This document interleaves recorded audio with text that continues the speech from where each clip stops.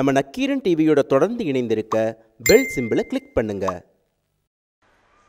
கலைஞர் அவர்களை பொறுத்தவரையில் அறுபது ஆண்டு காலம் சட்டப்பேரவையிலே தன்னுடைய பணியினை தொடர்ந்து கொண்டிருக்கின்றார். அறுபது ஆண்டு காலத்திற்கு மேலே. அதற்காக இங்கே இவ்வளவு பெரிய நிகழ்ச்சிகள். வருகின்ற மூணாம் தேதி எங்களுடைய தலைவன் ராகுல் காந்தியிலே இருந்து இந்தியாவிலே மதச்சார்பற்ற அத்தனை தலைவர்களையும் கூட்டி ஒரு மாபெரும் விழா நடத்த இருக்கின்றார். கிட்டத்தட்ட ஆயிரத்தி தொள்ளாயிரத்தி ஐம்பத்தி ஏழிலே இருந்து ரெண்டாயிரத்தி பதினேழு வரை அவருடைய சட்டப்பேரவை பணிகள் அமைந்திருக்கின்றன. குறிப்பாக சட்டப்பேரவை என்று சொன்னாலும் கூட நான் ஆயிரத்தி தொள்ளாயிரத்தி எண்பத்தி நாலிலே சட்டப்பேரவை உறுப்பினராக இருந்தேன். அப்போது எனக்கு அந்த வாய்ப்பு கிடைக்கவில்லை. அவருடைய பேச்சை பார்ப்பதற்கு கேட்பதற்கு காரணம் அப்போது சட்டமன்ற மேலவையில் அவர் இருந்தார். இருந்தாலும் அவரை பற்றி கேள்விப்பட்ட விஷயங்கள் படித்த விஷயங்கள் இன்னும் நானே நேரிலே குழந்தையாக இருந்தபோது பார்த்தது கொஞ்சம் வயதான பிறகும் பார்த்தது இப்போதும் பார்த்து கொண்டிருக்கும் போது பார்த்தா ஒரு மிகப்பெரிய சாதனையாளர் என்று சொன்னால் அது மிகையாகாது. பேசியவர்கள் சொன்னார்கள் அவர் ஒரு அதிசயம் என்று. அதிசயம் என்று நான் சொல்ல மாட்டேன். உலகத்திலே சில அதிசயங்கள் உண்டு. என்னை பொறுத்தவரையில் உலகினுடைய பேரதிசயம் அவர்தான் என்றால் அது மிகையாகாது. அவரை பொறுத்தவரையில் ஆரம்பத்தில் ஒரு பத்திரிகை ஆசிரியராக கையெழுத்து விருதியை ஆரம்பித்தவர். இங்கே ஒருவர் சொல்லியது போல அவர் பத்திரிகை ஆரம்பிக்கும் போதே பகுத்தறிவு கொள்கைகளையும் சுயமரியாதை கொள்கைகளையும் தான் அந்த கைத்தறி கைத்த கையெழுத்து பிரதியிலே அவர் கொண்டு வந்தார் அதை தான் பரப்பினார் அந்த காலத்தை பற்றி இங்கே இருக்கின்ற பெரியவர்களுக்கு தெரியும். ஒரு ஏழை எளிய குடும்பத்திலே பிறந்த கலைஞர் அவர்கள் அந்த மாவட்டத்திலே இருக்கின்ற பிட்டா பிராசுகளுக்கு சவால் விட்டு தான் எடுத்துக்கொண்ட சுயமரியாதை கொள்கையையும் பகுத்தறிவு கொள்கையையும் பரப்புவதற்கு முன்வந்தார் என்றால் மிகப்பெரிய விஷயம். ஏனென்றால் அன்றைக்கு பிட்டா மிராசுகளுடைய கொடுமைகள் என்பது மிகப்பெரிய ஆதிக்கம் மிகப்பெரிய அராஜகம். கொஞ்சம் ஏமாந்திருந்தால் அவரை முளையிலேயே கிள்ளி போட்டு இருப்பார்கள் ஆனால் அதையும் மீறி அவர் வளர்ந்தார். இன்று அவர் அடைந்த இடத்தில் யாரும் அடையாத முடியாத ஒரு உயரமான இடத்தில் அவர் இருக்கின்றார் என்று சொன்னால் அது மிகையாகாது. அவர் ஆரம்பத்தில் பத்திரிகை ஆசிரியராக இருந்தாலும் ஆரம்பத்திலிருந்து ஒரு சுயமரியாதை பகுத்தறிவாளராகத்தான் இருந்திருக்கின்றார்.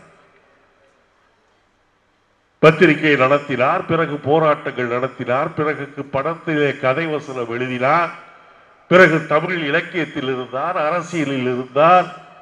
இப்படி பல கோணங்களில் நீங்கள் பார்த்திருக்கலாம் ஆனால் மிகப்பெரிய நாடகாசிரியராகவும் இருந்திருக்கின்றார். என்னை பொறுத்தவரையில் அவருடைய பழக்கம் என்பது எனக்கு சில ஞாபகங்கள் இருக்கின்றது ஆரம்ப காலத்திலே ஈரோட்டிலே தந்தை பெரியாரோடும் என்னுடைய தந்தையாரோடும் இருந்து அவர் அங்கே குடியரசு அலுவலகத்திலே பணியாற்றியது குழந்தையாக இருக்கின்ற என்னுடைய நெஞ்சில் இன்னும் செடுமையாக இருக்கின்றது. அதே போல் ஆயிரத்தி தொள்ளாயிரத்தி ஐம்பத்தி ஆறிலே திருச்சியிலே நடந்த இரண்டாவது மாநில மகாநாட்டிலே அவர் நடித்த நாடகம் காகித பூ என்ற நாடகம். அந்த நாடகத்திலே அவர் நடித்த விதம் நம்ப மாட்டீர்கள். இன்னும் என்னுடைய நெஞ்சத்திலே அது பசுமை நினைவுகளாக இருக்கின்றது. ஆக அவர் படைத்த அவர் காலடி வைத்த எல்லா துறையிலும் தனக்கென ஒரு தனி அந்தஸ்தை ஏற்படுத்தி கொண்டார். தன்னுடைய தனி முத்திரையை அவர் பதித்தார் என்றால் அது மிகையாகாது.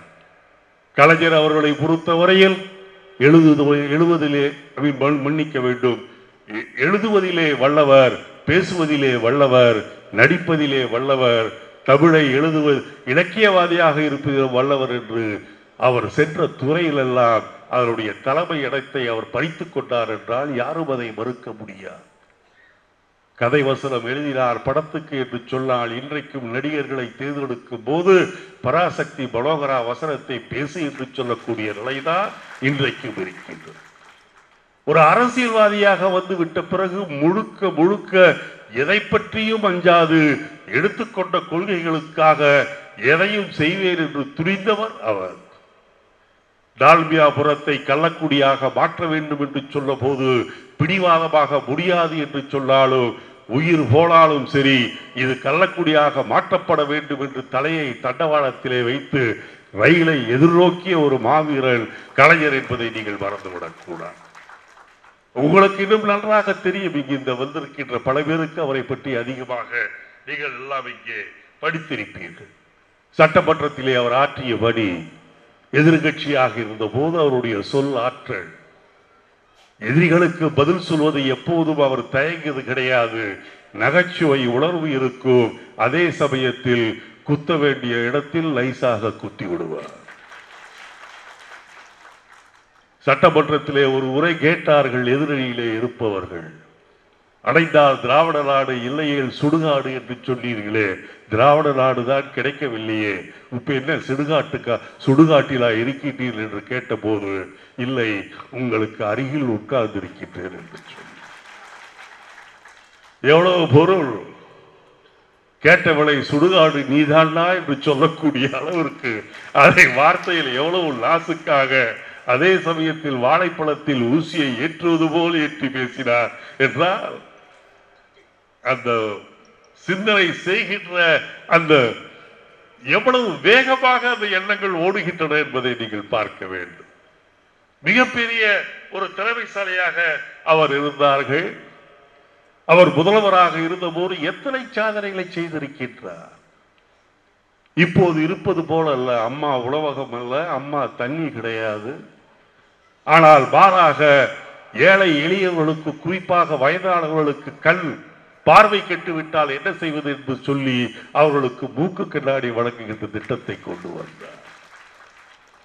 மனிதனை மனிதன் ரிக்ஷாவிலே இழுக்கும் அவலம் நீள வேண்டும் மீள அவலம் போக வேண்டும் என்பதற்காக அவர்களுக்கு சைக்கிள் ரிக்ஷாவை கொடுத்தவர். ஏழை எளியவர்களுக்கு சமத்துவபுரம் என்ற இடத்தில் வீடுகளை கட்டி கொடுத்து அதற்கு பெரியார் பெயரை வைத்தவர். இன்றைக்கு திராவிட கட்சிகள் நான் எல்லா கட்சிகளும் என்று சொல்ல மாட்டேன். அதிமுகவும் சொல்கிறது திராவிட கட்சி என்று. என்றைக்காவது இந்த திராவிட அனைத்து இந்திய அண்ணா திராவிட முன்னேற்ற கழகம் அது ஜெயலலிதாவாக இருந்தாலும் சரி ஓபிஎஸ் இபிஎஸ்ஆர் இருந்தாலும் சரி.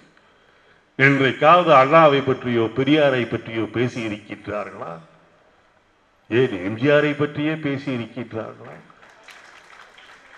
ஆனால் கலைஞர் அவர்கள் தான் தொடர்ந்து பெரியாருக்கும் அண்ணாவுக்கும் புகழ்மாலை சூடுவது மட்டுமல்ல அவர்கள் சொன்ன செய்தியை இன்றைக்கும் மக்களுக்கு சொல்லிக் கொண்டிருக்கின்றார் என்றார் கொள்கை பிடிப்புள்ளவர் டாக்டர் கலைஞர் அவர்கள் தானே கொடியிலே படம் போட்டு விட்டால் அண்ணாவிற்கு புகழ் சேர்க்குமா? அண்ணாவின் சாதனைகளை மக்களுக்கு அரசாங்கத்தின் மூலம் எடுத்துச் சொல்ல வேண்டாமா? என்ன செய்தார் அந்த அம்மையார்? பேரறிஞர் அண்ணாவுடைய நூற்றாண்டு விழாவை அரசாங்கம் எவ்வளவு சிறப்பாக எதிர்க்கட்சியிலே இருக்கின்ற அதிமுக எவ்வளவு சிறப்பாக அதை கொண்டாடி இருக்க வேண்டும் கொண்டாடவில்லை. ஆனால் திராவிட முன்னேற்ற கழகம் அதை மிகச் சிறப்பாக கொண்டாடி. அண்ணாவை விடுங்கள். எம்ஜிஆர் படத்தை பாக்கெட்டிலே வைத்திருந்தாலே மந்திரிகளை தூக்கி அடித்த காலம் உண்டு இந்த அம்மையார். மற்ற தலைவர்களை மற்றவர்களை புகழக்கூடிய இது உள்ளம் உனக்கு இல்லை என்று சொல்லார் சாதனை செய்த பெரும்பான்களை பற்றி பேசுவதற்கு உனக்கு வாய் வரவில்லை என்று சொன்னால் உன்னை பற்றி கேவலம் ஒரு நாய் கூட குறைக்காத உன்னை பற்றி என்பதை நான் சொல்லிக்கொள்ள விரும்புகின்றேன். அதைத்தான் நாம் இப்போது பார்த்தோம் டாக்டர் கலைஞர் அவர்களை பற்றி எத்தனை சாதனைகளை சொல்லலாம்? என்னால் மறக்க முடியாத ஒரு மிகப்பெரிய விஷயம் யாரும் செய்ய முடியாத விஷயத்தை கலைஞர் அவர்கள் செய்தார்கள். தந்தை பெரியார் அவர்கள் மறைந்த போது அவருக்கு அரசு மரியாதையோடு அடக்கம் செய்ய வேண்டும் என்று சொன்னார்கள். அப்போது இருந்த அரசு உயர் அதிகாரி வந்து சொன்னார் இல்லை இது செய்ய முடியாது என்று சொன்னார்கள். இல்லை காந்திக்கு செய்தார்களே இதற்கு இவருக்கு ஏன் செய்யக்கூடாது என்று கேட்டார். இல்லை ஏதாவது செய்தால் டெல்லியிலே இருந்து தொந்தரவு தருவார்கள். எந்த தொந்தரவு வந்தாலும் நான் பார்த்துக் கொள்கின்றேன். பதவியை தூக்கி எறிய வேண்டும் என்று சொன்னாலும் தூக்கி எறிவேன் என்று சொல்லி அவர் பெரியாருக்கு அரசு மரியாதை செய்தார். யார் இதை செய்திருக்க முடியும்? ஆக ஒரு நல்ல முதலமைச்சர் எப்படி இருக்க வேண்டும் என்பதற்கு இருக்கின்ற உதாரணங்களில் நம் முன்னால் இன்றைக்கு இருக்கின்ற மிகப்பெரிய உதாரணம் டாக்டர் கலைஞர் என்பதை நீங்கள் மறந்து கூடாது. அவரை பொறுத்தவரையில் எதிர்த்தாலும் முழுமையாக எதிர்ப்பார். ஆதரித்தாலும் மனநிறைவோடு எதிர்ப்பார். நெருக்கடி காலத்தில் எங்களை எதிர்த்தார். அது வேறு அன்றைக்கு இருந்த சூழ்நிலை. முழுமையாக கடுமையாக எதற்கும் பயப்படாமல் எதிர்த்தார் அதற்கு பிறகு காங்கிரஸோடு உறவு காங்கிரஸ் ஆட்சிக்கு வந்தால்தான் நாட்டிலே மதவாத சக்திகள் வந்து வர முடியாது. ஆகவே காங்கிரஸ் வர வேண்டும் இந்திரா காந்தி வர வேண்டும் என்று சொல்- சொல்லுகின்ற நேரத்தில் அப்போதும் சொன்னார் நேருவின் மகளே வா நிலையான ஆட்சியை தா என்று சொன்னார். எதிர்க்கும் போது வீரமோடு எதிர்க்கின்றவர் ஆதரிக்கும் போது பூர்வ மனதோடு ஆதரிக்கின்றார் என்று சொன்னால் அதுதான் மனிதன் அதுதான் ஆண்மை. அதை விட்டு விட்டு ஜால்ரா போடுவதை தொழிலாக கொண்டிருந்தார். இவர்களெல்லாம் எங்கேயோ போய்விடலாமே தவிர ஆட்சி பீடத்தில் அமர்வதற்கு அருகதையற்றவர்கள் என்பதைத்தான் நான் இங்கே சொல்ல விரும்புகின்றேன். மற்றபடி இன்னும் நம்முடைய மரியாதைக்குரிய ஆசிரியர் அவர்கள் பேச வேண்டும். ஆகவே இன்னும் ஒரு இரண்டு நிமிடத்தில் முடித்துக் கொள்கின்றேன். இன்றைக்கு பார்த்தீர்கள் என்றால் உலகத்திலே இருக்கின்ற எல்லா நாடுகளிலும் இருக்கின்ற அரசியல்வாதிகளை பார்த்தீர்கள் என்றால் எந்த நாட்டிலும் கலைஞரை போன்ற ஒரு அரசியல்வாதி ஒரு தனி மனிதன் கிடையாது. இப்படி பல துறைகளில் தன்னுடைய காலை பதித்து முத்திரையை பதித்தவர்கள் அதிகம் கிடையாது. அமெரிக்கா ஜனாதிபதிகள் என்று சொன்னாலும் கூட ஏதோ படத்தில் நடித்தவர்கள் பிறகு ஜனாதிபதி ஆனார்கள் கலைத்துறையில் இருந்தார்கள் அரசியல் என்று சொல்ல முடியுமே தவிர கலைஞரை போல் எழுத்துலகில் பத்திரிகை உலகில் இலக்கிய உலகில் அரசியலில் நாடகக் கலையில் வல்லவர்களாக இவ்வளவு பெரிய வல்லவர்களாக இருந்தவர்கள் என்பது எங்கேயும் கிடையாது. தமிழகத்தில் தான் அது நடந்திருக்கின்றது. ஆக என்னை பொறுத்தவரையில் இவர் ஒரு அதிசயம் என்று சொல்வதை விட உலகத்தினுடைய பேரதிசயம் என்று சொன்னால் அது டாக்டர் கலைஞர் அவர்கள். நான் ஒரு முப்பது முப்பத்தைந்து வருடங்களாக நான் டெல்லிக்கும் வடநாட்டிற்கும் அடிக்கடி செல்லக்கூடிய சூழ்நிலை எனக்கு. முதலிலே செல்லும் போதெல்லாம் பெரியாரின் பேரன் என்று சொல்வார்கள் யார் பெரியார் என்று கேட்கக்கூடிய நிலைமை இருந்தது.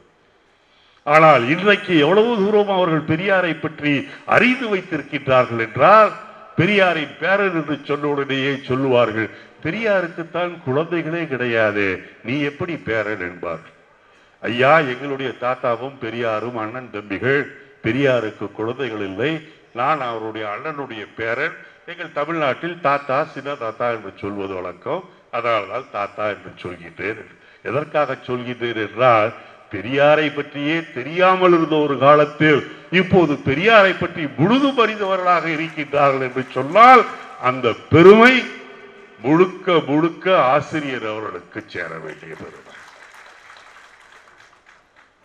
பெரியார் அவர்கள் மறைவுக்கு பிறகு அவர் தன்னந்தனியாக என்று சொல்வதை விட தன்னுடைய இயக்கத்தை வைத்து இந்தியா முழுவதும் இன்றைக்கு பெரியாரை பற்றி சொல்ல வைத்திருக்கின்றார் என்றால் அவருடைய முயற்சி அது.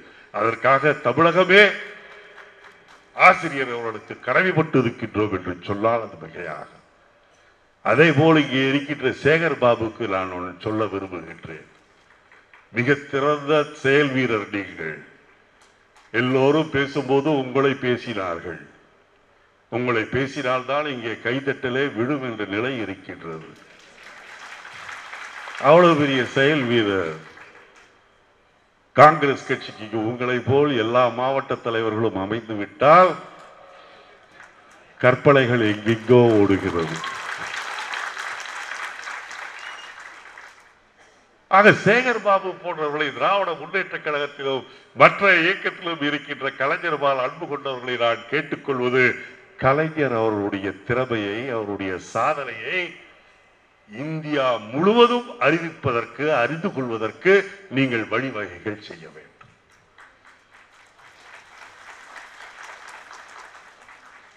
பேர மன்னிக்க வேண்டும். ஆசிரியர் அவர்கள் செய்ததை நீங்கள் செய்தாக வேண்டும். உலக பேரதிசயம் என்று சொல்வதோடு நிறுத்திக் கொள்ளக்கூடாது. உலக பேரதிசயம் எப்படி என்பதை காண்பிக்க வேண்டும். ஏனென்றால் வடநாட்டை இரு- இருக்கின்றவர்களுக்கு எப்போதும் தமிழ்நாட்டை பொறுத்தவரையில் ஒரு மோசமான கருத்து. சுதந்திர போராட்டத்திலே அதிகமாக ஈடுபடாதவர்கள் என்று ஒரு தவறான மாயை. அதே போல் இங்கே இருக்கின்ற தலைவர்களை பற்றியும் நல்ல எண்ணம் அதிகம் அங்கே கிடையாது. ஆனால் தமிழ்நாட்டில் இருக்கின்ற தலைவர்கள் எவ்வளவு பெரிய தலைவர்கள் என்பதை உலகுக்கு தெரிவிக்கின்றோமோ இல்லையோ இந்தியா முழுவதும் அறிந்தாக பொறுப்புள்ள தோழர்கள் சேகர் பாபுவை போன்ற தோழர்கள் அதை எடுத்து செய்ய வேண்டும். நிகழ்ச்சி நடத்தாத நாளே கிடையாது. சேகர் பாபு தொலைபேசியிலே வருகின்றாள் என்றாலே எனக்கு பயம். எங்கே வர சொல்கின்றார் என்ன பேச சொல்கின்றார். அப்படி ஒரு அருமையான தோழர். இவ்வளவு பெண்கள் இங்கே வந்திருக்கின்றீர்கள் வந்திருக்கின்றீர்கள் என்பதோடு மட்டுமல்ல கடைசி வரை இருந்து கொண்டிருக்கின்றீர்களே. இவ்வளவு பெண்கள் இங்கே வந்து கலைஞரை பற்றி கேட்கக்கூடிய அளவிற்கு நீங்கள் இருக்கின்றீர்கள் என்று சொன்னால் கண்டிப்பாக தமிழ்நாட்டிற்கு விரைவில் விமோச்சனம் வரும் என்று சொல்லி கலைஞரை வாழ்த்துவதற்கு பதிலாக அந்த பெருமான் வாழ்கின்ற இந்த காலகட்டத்தில் நாமும் வாழ்கின்றோமே என்ற பெருமையோடு உங்களிடமிருந்து விடைபெறுகின்றேன். வணக்கம். நன்றி